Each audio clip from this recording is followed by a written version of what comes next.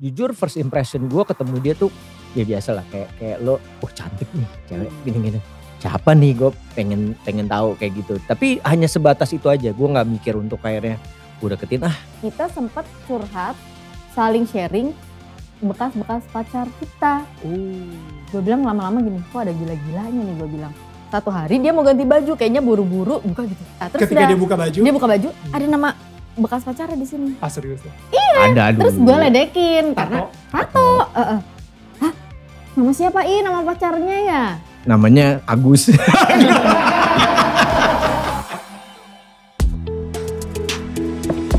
Ini gua Daniel, tetangga kamu. Di sini gua akan ngobrol dengan tetangga gua tentang perjalanan hidup mereka dari kacamata spiritual di saat mereka mengalami situasi tidak pasti dan kekhawatiran sampai bisa kembali bangkit menjadi orang yang lebih kuat dari sebelumnya. It's gonna be very exclusive and inspiring. Jangan lupa ya untuk like, share, dan subscribe. Thanks guys. Selamat datang kembali di Daniel Tetangga Kamu. Dan masih bersama dengan tetangga kita, Lia dan Lukman Sardi. Nah, buat kalian tetangga-tetangga gue yang em, sudah setia banget ya nonton Daniel Tetangga Kamu, gue pengen ngucapin terima kasih banyak. Terlebih lagi buat kalian yang sudah subscribe Daniel Mananta Network. Karena guys, gua akan selalu upload konten yang bukan hanya bikin kalian feel good, tapi juga feel God, right? Dan kalau bisa ya jangan subscribe aja ya guys ya. Klik juga tombol loncengnya supaya kalian dapat notifikasi kalau ada video baru di Daniel Manata Network yang kita upload. Oke, Em, kita langsung lanjut ngobrol lagi nih guys. Kalian ketemu pas lu lagi jadi asisten produser buat Rudi Sujarwo. Yes, lagi kerja praktek. Sembilan naga bukan itu? Iya, Iya, sembilan iya, naga. film. Sembilan naga ya? Kedua gua tuh. waktu Right, itu. Eh, right. Itu itu keren banget. Dan em, ketika kalian ketemu dan Hmm. gue sempat dengar juga kalau misalnya lu saat itu sebenarnya, eh lu umur berapa saat itu? Tiga Tiga, enam. tiga enam ya? Enggak, itu meritnya. Merit tiga lima, 35. eh tiga empat berarti. Tiga empat ya? Tiga puluh. Tiga Kan tiga setengah tahun. Mm-mm. Tiga, Kamu tiga. pacarannya sama aku? Oke. Nah, jadi lu sebenarnya saat itu itu udah kayak nggak niat pengen menikah selamanya gitu kan. Lu kayak ngerasa udahlah gue pengen single aja. Eh gue ngeliat bokap gue gagal Iya, dalam iya, iya, pernikahan iya. beberapa kali. Iya. Ngapain gue menikah juga. Iya. Sampai akhirnya lu ketemu Lia. Iya betul karena gue udah di momen yang kayak gue ngerasa ya gue pacaran gitu. Cuman akhirnya gue ngerasa gue punya trauma dengan pernikahan gitu. Karena bokap gue kan dua kali cerai. Even udah 20 tahun nikah aja terus cerai lagi gitu. Maksud gue kayak jadi ya udahlah gue nggak usah mikirin kayak gitu gitu. Hmm. Nah at some point gitu kan balik lagi ini kan sebuah perjalanan Daniel. Gue meyakini banget kalau di saat ini tuh akhirnya gue melihat bahwa bapak gue yang di atas itu punya skenario yang luar biasa buat gue. Yang gue gak pernah sadarin gitu. Sampai gue punya pemikiran kayak gitu kan pasti dia denger dong dia tahu. Oh lu punya pikiran untuk gak nikah. Cerita lu gak begini Lukman gitu. Wow. pasti kan bapaknya bilang Ya. gitu kan. Ya. Cerita lu gak gini. Lu jangan menyalahi skenario yang gue buat gitu kan. Hmm, hmm. eh akhirnya kan gue tiba-tiba main dari Gi, habis itu gue sembilan naga. Siapa yang nyangka juga ketemu dia. Hmm. Gak ada yang nyangka kan. Di momen-momen di mana gue juga merasa bahwa ini gambling kayaknya gue milih untuk main di film gitu. Gi, setahun gue lama gak punya kerjaan, tiba-tiba ada eh, Rudi Sujarwo bikin sembilan naga. Dan ternyata gue lolos casting. Jujur first impression gue ketemu dia tuh ya biasa lah kayak kayak lo, wah cantik nih cewek Hmm. gini-gini. Siapa nih gue pengen pengen tahu kayak gitu. Tapi hanya sebatas itu aja. Gue nggak mikir untuk akhirnya gue deketin ah gue apalah gue niat gitu deketin. Cuman I'm happy nih kalau gue datang ke sini ada cewek ini gitu kan. Eh, terus habis itu om ya itu berjalan gitu. Ada momen di mana eh, nanti ada ceritanya Lia juga di mana dia tiba-tiba Rudy tuh selalu mention nama gue gitu. So, lu harus ketemu nih. Ini gila banget nih orang. Keren banget gitu. Dia tuh juga lumayan penasaran Hmm. siapa sih nih gitu. Ya. Ini yang mana sih gitu. Dan akhirnya ketika pertama kali ketemu ekspektasinya gimana? Ekspektasinya Wah, oh segini aja. Udah pendek. Gue pikir. Nicola Malah. Saputra. Nicola Saputra. Emang sih gantengnya cuma setengah persen bedanya. Bedanya. tapi setengah persennya tuh jauh. Jauh men. Gila loh. Ya ya ya ya. Iya kan kamu, kamu bisa cerita tuh pertama kali kamu disuruh nungguin karena aku mau Bukan ngambil skrip disuruh ya. nungguin sih sebenarnya. Jadi dia tuh mention mulu. Uh pokoknya Rudy kalau ngomongin dia semangat banget. Hmm. Lu harus tahu acting dia tuh keren banget. Hmm. Gue bisa nih lagi kerja apa tiba-tiba dia lewat. Gila itu orang tuh keren banget. Dia yang harus main. Sampai segitunya? Iya. Wow. Rudy sampai kayak gitu. Gue bilang wah ini good marketing. Siapa sih gue gituin kan. Udah. Udah satu hari dia bilang itu draft eh, draft terakhir draft draft final udah jadi ya. Oh oke nanti pemain suruh pada ngambil-ngambil aja. Hmm. Mau nggak mau dia dateng dong. Hmm. Kan gue belum belum ada proses reading jadi baru ngambil karena draftnya baru jadi terakhir. Terus datang malam-malam jam 6 ya kayaknya Iya, habis habis sore. maghrib udah gelap kan. Terus gue bilang gini, uh, Astradanya bilang, oh ini Mas Lukman datang. Gue langsung kepingin keluar. Yang mana sih nama si Lukman? Gue bilang gitu kan. Gue di depan pintu tuh. Gue langsung jadi tuh kayak ngecek gitu ya. begitu gue buka pintu, oh ini yang namanya Lukman. Mas-mas gitu ya. katanya. Gue bingung juga. Oh ini yang namanya Lukman. Gue ngomong loh, kamu Hmm, iya kan? Aku ngomong ya? kan, iya. Hmm. Oh ini yang namanya Lukman. Oh, kenapa? Kata dia gitu. Enggak, Rudy tuh ngomongin lo melulu. Terus udah gue tinggal, udah cuma sekedar segitu doang. Iya, Nggak tahu lagi Temuannya juga. kan begitu aja gitu. Iya, dia Tapi- juga ngambil script. Tapi di mata lu itu beda gitu ya. Kayak, Di mata gue tuh slow motion Yo, pengen ngomong. ada lagu kita cek cek cek wow wow. Oh, Gitu. Rudy mention nama kamu, Kamu terus. terus. Kayak rambutnya. Mata gue membesar. Cing cing kling kling kling gitu. Iya, gue sampai bingung. Iya iya iya iya. Oh ya Ya, udah, jadi cuma sebenarnya gitu prosesnya doang. tuh diawali dari itu gitu. Jadi jujur tanya sama dia, gue juga nggak ngalamin yang namanya pendekatan tuh kayak apa gitu. Gue Hmm. tuh jadi dekat karena kita tiap hari ada di, Di lokasi, lokasi syuting. Hmm. Jadi bukan yang berusaha deketin. Kalau di lokasi syuting kan gue juga fokus sama kerjaan gue. Dia juga ada kerjaan gitu. Ada momen lagi duduk lihat monitor ngobrol ketemu gitu. Jadi kalau ditanya kapan pendekatannya, gue juga nggak tahu kapan pendekatannya gitu. Hmm. Jadi benar-benar berjalan seperti itu adanya sampai akhirnya kita ngerasa Nyaman. nyaman aja gitu. Oke. Mm-mm, Dan mm-mm. pacaran lah di situ ya. Dan akhirnya After, memutuskan ya. kayaknya ya udah kita coba ya. Menurut gue waktu itu ya pikirannya ya udahlah pacaran aja gitu. Padahal tapi nggak karena nikah. nggak ada. Karena Ya. gue merasa nyaman nih deket dia. Ya. Gue udah waktu itu udah sekitar berapa tahun juga gue nggak punya pacar gitu. Hmm. Oh enggak, tapi ki- eh, lucunya gini, kita sempat curhat, saling sharing bekas-bekas pacar kita. Oh. Gue bilang lama-lama gini, kok ada gila-gilanya nih gue bilang. Dia curhat bekas pacar dia. Oh gara-gara nih kan dia kalau ganti baju di lokasi syuting sebenarnya gimana ya? Itu lokasi syuting sebulan ya ada ya, sebulan. Jadi kalau gue boleh milih, sebenarnya gue nggak mau ada di eh, Lokasi. lokasi itu. Hmm. Tapi entah kenapa gue harus ada di lokasi itu terus. Right. Menurut gue itu juga proses kan. Ya. Udah oke, jadi gue udah di situ gitu. Terus gini, satu hari dia mau ganti baju, kayaknya buru-buru buka gitu. Nah, terus Ketika udah- dia buka baju. dia buka baju, Hmm. ada nama bekas pacarnya di sini. Ah serius tuh. Ada dulu. Terus gue ledekin. karena- Tato. Tato. eh, eh. Hah? Nama siapa? Ih nama pacarnya ya? Namanya Agus.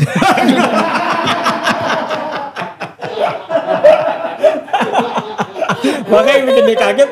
Kok namanya Agus? Makanya Agus shock. Wijaya. wow.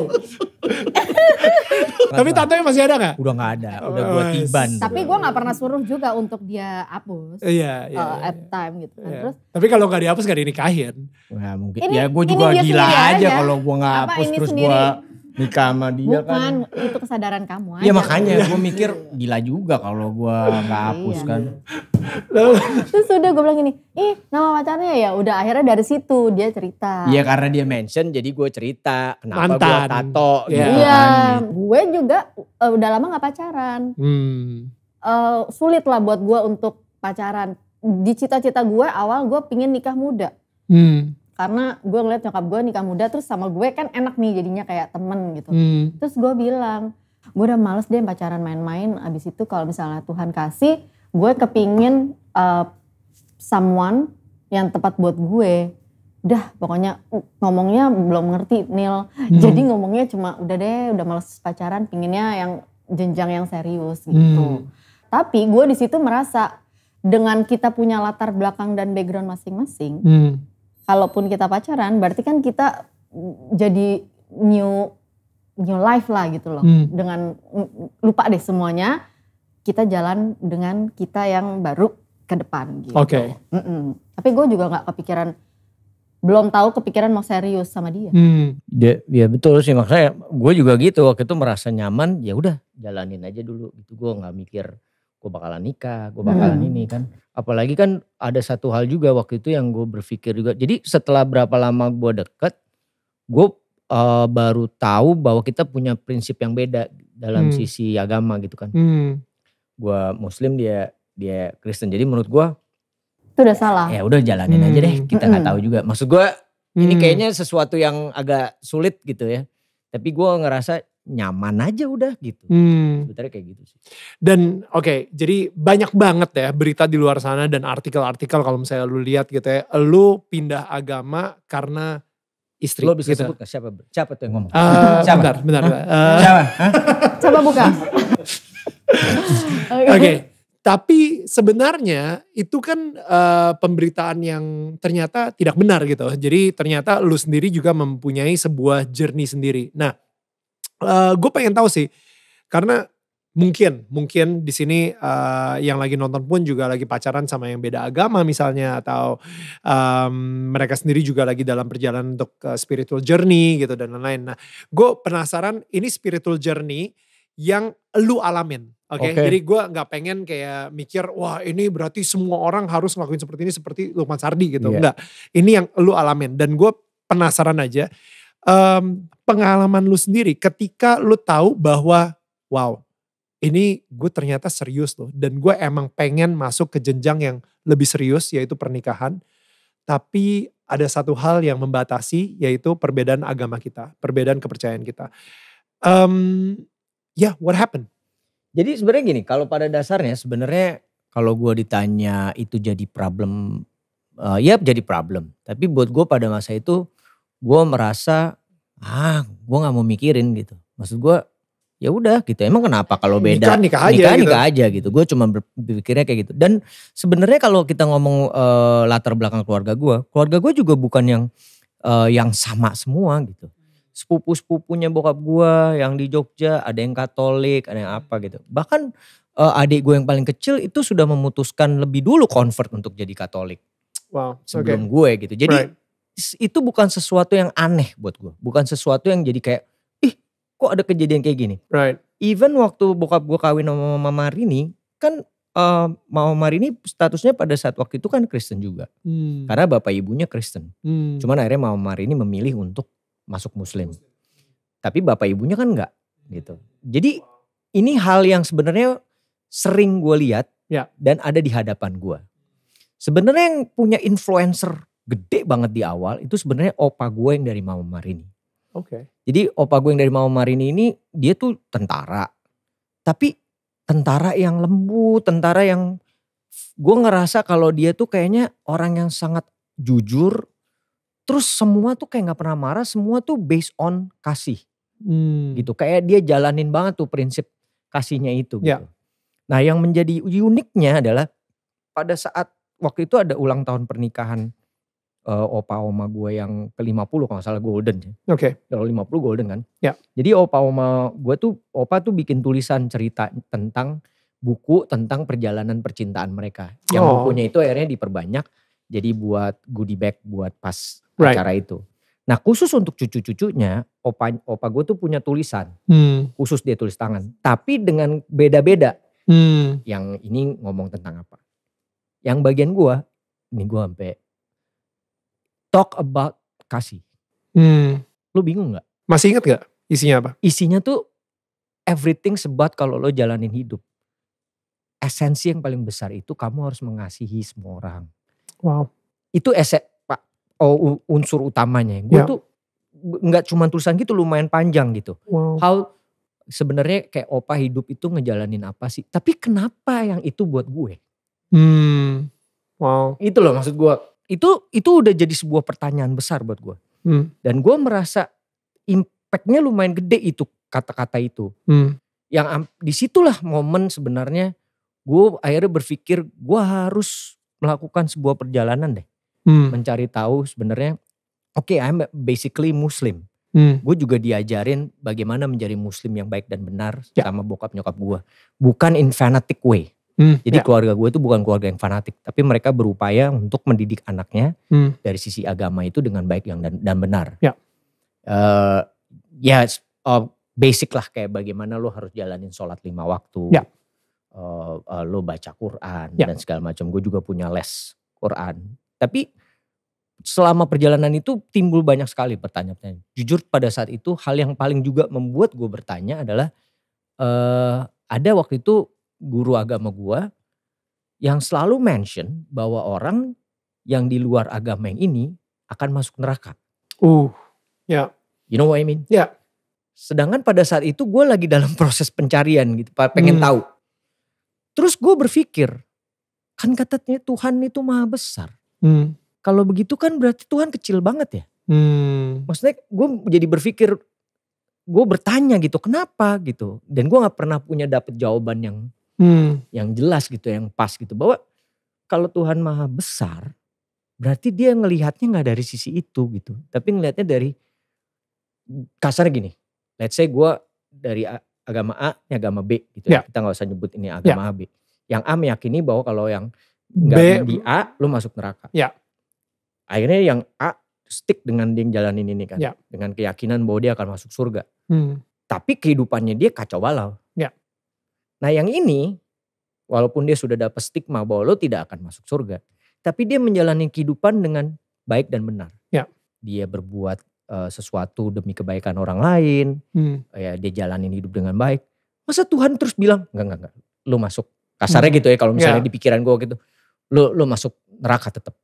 Karena lo enggak gitu. Buat gue itu sebuah pertanyaan yang bikin gue terus eh, berjalan. Tapi Ya. bukan berarti gue juga langsung memutuskan gitu. Jadi perjalanan itu lumayan panjang Daniel Ya. proses. Nah itu tadi gue bilang bahwa ada skenario Tuhan yang gue nggak Hmm. pernah tahu. hmm, Kenapa itu kalimat kasih datangnya ke gue? Ya. Ya kan? Kenapa terus gue dipertemukan sama dia? Ya. Di momen-momen di mana saat yang gue sudah tidak meyakini tentang merit. hmm, Itu kan luar biasa Ya. buat gue. Ya. Sehingga muncullah sebuah perjalanan yang makin pertanyaan yang makin meninggi di gue gitu. hmm, Sampai di momen yang akhirnya hubungan kita udah mulai panjang, serius. Ya of course lah ya kalau lo udah tahunan pasti lo akan bertanya ini mau dibawa ke mana. betul. Dengan Walaupun usia juga nggak- sudah tidak muda Ya, lagi. Hmm. gue juga berpikir, gue juga akhirnya merasa kok gue nyaman banget ya sama dia. Apakah gue still believe bahwa merit itu nggak penting gitu kan? Hmm, Gue melakukan sebuah perjalanan-perjalanan sampai ada momen di mana eh, di lumayan krusial momen itu karena kita udah masuk tahun keberapa gitu. Gue berdoa gitu, gue cuma berdoa. Gini deh, gue nggak tahu gue mesti ngapain kalau kasarnya gitu. Sama bapak nih gue berdoa lo kasih tahu gue jalan gue harus ngapain dulu deh terserah deh istilahnya kalau gue harus nyempul got dulu abis itu gue nemu jawabannya gue nyempur nyebur got dulu deh nggak Ya, apa-apa sampai se, udah sedesperate itu lah. Ya. sepasrah-pasrahnya aja gue Ya. sampai besokannya tiba-tiba gue baru sadar ini mungkin jawaban doa gue tapi nggak langsung hari itu juga gitu gue eh kayak dari eh, kebetulan gue ikut filmnya Naga Bonar jadi dua eh, karyanya Bang Deddy Miswar dan itu eh, box Hits. office Ya, Nah caranya dia Bang Deddy Miswar itu punya cara yang buat gue tuh very nice way untuk mengappreciate gitu. hmm, Dia ngasih bonus umroh. hmm, Nah kalau buat ke orang Islam kan keyakinan pada saat lo udah dikasih rejeki itu, itu berarti rejeki dari Tuhan kan. ya, Lo harus ya whatever lah kalau udah gitu kan udah lo harus ambil. Dan gue ngerasa tiba-tiba kok gue ditawarin ini ya. hmm. Di dalam situasi yang lagi kayak gini. Di gitu mana ya. lu lagi bertanya kepada Tuhan lagi gitu. ya. bertanya gitu. Terus gue bilang, apa ini gue mesti jalanin dulu ya sampai gue nemuin jawabannya gitu. Atau mungkin itu jawabannya. Atau mungkin itu jawabannya gitu, ya kan? Either gue ke sini atau gue melanjut atau gue tetap stick di tengah Ya. gitu kan. Akhirnya gue bilang sama dia, gue berangkat deh gitu. Hmm, Nah itu yang akhirnya mungkin banyak orang gak tahu, gue jalanin dan gue jalanin umroh itu dengan niat ya udah gue jalanin sebagai gue umat Islam, gue jalanin dengan baik dan benar. Di satu sisi apa pun yang Tuhan mau gue lakukan, ya itulah jawabannya gitu kan. Nah pada saat gue ngejalanin umroh itu biasalah kalau misalnya kan lu ada tawaf gitu kan. Itu eh, di situ gue ngerasa bahwa kan kalau misalnya di tawaf itu sampai lo jalan sampai akhirnya sampai di Hajar Aswad lo cium. Itu bukan sebuah perjalanan yang mudah untuk lo nyampe di ujung karena kan banyak orang. hmm, Udah gitu banyak orang juga yang gede-gede banget. gitu. hmm, Tiba-tiba lo nabrak-nabrak. Ya. Waktu gue ngejalanin itu semua emosi gue marah banget. Gue marah banget karena gue gak nyampe-nyampe ke situ. Wow. Gue kata-katain semua orang. Oh, buset. Dasar orang Afrika lu menang gede aja lu badan gitu. Di tanah suci nih. Men. Iya emosi dia. Sampai akhirnya tiba-tiba kayak gue diingetin tentang tulisan opa gue kasih itu dan yang tergambar di depan gue itu tulisan opa gue itu Hmm. tentang kasih. How lo jalanin hidup dengan kasih. Nanti dari kasih itu lo akan dapet jalan yang terbaik. Konsepnya itu gitu. Akhirnya gue diem dulu duduk. Gue inget tuh kalimat opa gue itu. Hmm. Apa ini yang gue harus jalanin ya? Hmm. Akhirnya gue jalanin konsep itu. Hmm. Gue ada orang mau lewat gue kasih. Wow. Ini gue kasih. Gue gak sadar tiba-tiba gue udah di ujung. Gue udah di ujung tiba-tiba itu biasanya orang kan ayo buruan cepat buruan. Itu tiba-tiba itu sama yang kan ada yang jaga di atas itu ya. Gue nyium orang itu gak bolehin orang lain masuk dulu. Jadi lu dikasih waktu lama. ekstra. Ah. Iya. Ekstra tuh. Wow. Habis itu gue nangis sejadi-jadinya. Hmm. That's about konsep yang gue cari tentang hidup. Kasih Daniel. Hmm. Yang selama ini gue lost. Kayak tadi makanya gue bilang temperamental. Gue Hmm. ngerasa bisa ngidup sendiri. Gue jalanin aja semuanya. Ya. Dan ternyata itu jawabannya Tuhan. Makanya waktu gue pulang, even gue dari umroh, gue yakin banget dengan konsep kasih itu. Dan itu yang gue bilang impactnya terbesar itu dari opa gue awalnya. Kan itu perjalanan yang panjang opa gue dari tahun berapa gue Iya. masuk di situ tahun berapa gitu. Iya. Kan itu buat gue sesuatu yang luar biasa banget bagaimana Tuhan membawa gue sampai ke titik yang gue menemukan jawaban yang paling bener gitu istilahnya dari Hmm. dia gitu. Hmm. Akhirnya gue pulang gue lumayan bulat gitu untuk memutuskan bahwa ini yang akan gue jalanin gitu. Ya. Jadi Nggak sesuatu langsung yang bilang ya tapi. nggak langsung bilang Hmm. kan gue juga nggak langsung tiba-tiba datang gue ngomongin Hmm. kan gue pulang gue uh, Tetap proses dulu lah, lu berproses mikir dulu, lagi ya. gue mikir lagi ternyata gue merasa nyaman dengan konsep kasih tersebut dan gue juga ternyata ngelihat juga dari bapaknya dia akhirnya gue review lagi gitu bapaknya dia kan dulu 15 apa nikah tuh 15 tahun tuh beda, Beda agama. agama. Wow. Oh jadi wait, jadi bokap lu sendiri em, beda agama sama nyokap sampai akhirnya eh, bokap yang Memutuskan. ngikutin nyokap gitu Iya. ya. Nah, gue tuh ngeliat bagaimana di keluarganya dia itu ada konsep itu dari bapaknya. Hmm. Kayak misalnya lo makan bareng keluarga. Hmm. Bener-bener kan perjalanan hidup gue tuh cerai. Habis itu gue lumayan ya udah gue sendiri aja. Lu kayak Gua nggak ada satu nggak harus- pegangan iya. yang konsisten. Jadi gue ya. lumayan look up sama bapaknya dia gitu. Merasa Hmm. bahwa gue nyaman. Walaupun bapaknya dia juga bukan yang ah Ramah. Lukman gak gitu. Bapak gue kalau bapaknya dia kan udah kumisan. Malah mah, hmm, Kan anak perempuan satu ya. iya. Jadi kalau ketemu Nah, ada siapa cerita tuh lagi nih, gue gak apa-apa cerita sini. Walau kalau sekarang mah gue udah luar biasa deh. eh, mertua gue cintanya sama gue, gue cintanya sama mertua gue gitu. Dulu ibunya dia tuh kalau misalnya gue nganterin ke rumah dari atas balkon gitu, dia lihat, oh sama supir baru dianterin. ada rasa takut gak dari lu ketika lu lu memilih eh, kasih tersebut gitu ya lu jadi ya udah film gak akan dipakai lagi Em, gak laku lagi dimusuhin sama beberapa pihak Jujur lo pertanyakan gini, ini baru orang pertama yang nanya ini soal gue dia. Apalagi tuh orang tahu gue setelah gue main film Sang Pencerah bro, gue jadi kayak Haji Ahmad Dahlan gitu kan. Ternyata itu jadi gila-gilaan. Ya. Orang pada nonton gitu kan.